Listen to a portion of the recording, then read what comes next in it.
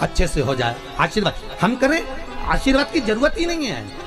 तीन के भाग्य का धन हर व्यक्ति को मिलता है। पहला, बहन बेटी के भाग्य का। दूसरा, गौ माता के भाग्य का। तीसरा, संत और ब्राह्मण के भाग्य का। अगर आपके घर में बहन बेटी आ रही है, आपके घर में बहनें आ रही हैं, आपके घर में बेटी ने जन्म लिया है तो उसके भाग्य का धन तुमको ज़रूर मिलेगा। दूसरे नंबर पर, गौ माता अगर तुम्हारे घर में है, या तुम गाय को एक रोटी दे रहे हो, गौ माता की सेवा कर रहे हो, भले तुम्हारी गरीब परिस्थिति है, भले तुम्हारे पास में कुछ भी नहीं है तो भी तुमने अगर गौ माता की सेवा करी है, गाय को एक रोटी दी है, गाय को चारा दिया है, गाय की सेवा करिए तो उसके भाग्य का धन तुमको ज़रूर मिलेगा। दूसरा तीसरे नंबर पर है संत ब्राह्मण के भाग्य का। अगर कोई ब्राह्मण, कोई संत, कोई साधु, कोई सन्यासी, कोई तपस्वी, कोई साधक, कोई उपासक, कोई ब्राह्मण तुम्हारे घर में आया है, तुम उसकी सेवा कर रहे हो, तुम उसको एक गिलास पानी भरकर पिला रहे हो, तुम उसको भोजन बनाकर खिला रहे हो, उसके भाग्य का धन घटेगा नहीं, उसके भाग्य का धन तुमको प्राप्त होगा। ये तीन के भाग्य का धन कभी नहीं कटता। पहला, बहन बेटी के भाग्य का। दूसरा, गौ माता के भाग्य का। तीसरा, संत ब्राह्मण के भाग्य का। ये कभी नहीं घटता, ये बढ़ता है।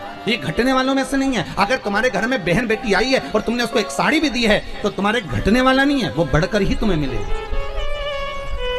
तुमने गाय को अगर एक रोटी दी है, उसका भाग्य तुमको प्रबलता में ही प्रदान करेगा।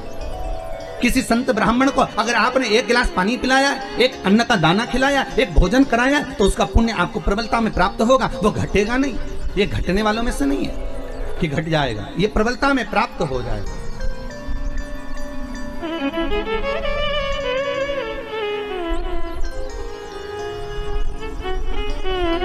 कई लोग कहते हैं, भगवान ने कृपा करी, हमारे घर में तो बेटा हो गया। बेटी नहीं भगवान की कृपा थी कि बेटी नहीं हम कहते हैं, किस्मत वाले नहीं हो। भाग्य बेकार है आपका, अगर तुम्हारे घर में बेटी नहीं है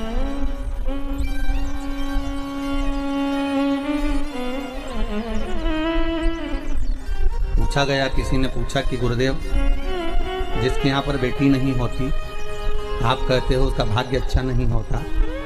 ये बताओ भगवान फिर बेटी क्यों नहीं देता? फिर तो उसको बेटी देना चाहिए। हर एक व्यक्ति के घर में एक बेटी तो देना ही चाहिए। अगर दो लड़के दिए हैं, तीन लड़के दिए हैं तो एक कन्या तो देना चाहिए। हमने कहा गरुण पुराण में लिखा है कि बेटी भगवान जान करके नहीं देता।